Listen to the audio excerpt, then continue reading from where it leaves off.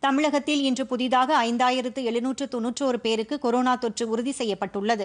இதையடுத்து தமிழகத்தில் பாதிக்கப்பட்டோரின் மொத்த எண்ணிக்கை ஐந்து லட்சத்து எண்பதாயிரத்து எட்நூற்று எட்டாக உயர்ந்துள்ளது என மக்கள் நல்வாழ்வுத்துறை வெளியிட்டுள்ள அறிக்கையில் தெரிவிக்கப்பட்டுள்ளது.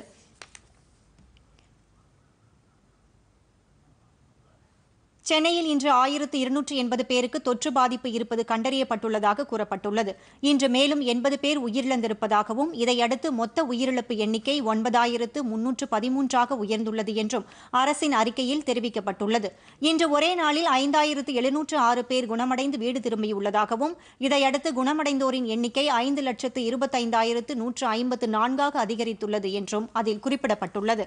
தமிழகத்தில் தற்போது கொரோனா தொற்று காரணமாக மொத்தம் நாற்பத்தாறாயிரத்து முன்னூற்று நாற்பத்தோரு பேர் சிகிச்சை பெற்று வருவதாகவும் அந்த அறிக்கையில் கூறப்பட்டுள்ளது. பொதிகை செய்திகளை யூடியூபில் தமிழ் நியூஸ் தூர்தர்ஷன் என்ற சேனலிலும் முகநூலில் டிடி பொதிகை நியூஸ் என்ற பக்கத்திலும் ட்விட்டரில் டிடி நியூஸ் சென்னை என்ற பக்கத்திலும் இன்ஸ்டாகிராமில் டிடி பொதிகை நியூஸ் என்ற பக்கத்திலும் காணலாம். மேலும் உங்கள் கருத்துக்களை Podhigai DD news at Gmail dot com என்ற மின் அஞ்சலில் தெரிவிக்கலாம்.